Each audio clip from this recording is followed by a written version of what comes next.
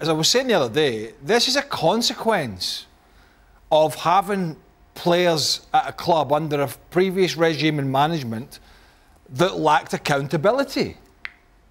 There's been no accountability. This should have been all flushed out. All these players with the attitude problem should have been flushed out a long time ago.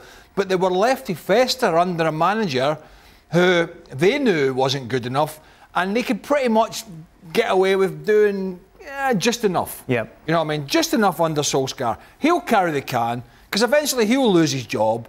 We've got contracts, so we'll just kind of muddle on and then we'll see what happens. And as soon as somebody comes in and says, right, slams the fist down, says, right, no, this is not right. We need to change this, change that.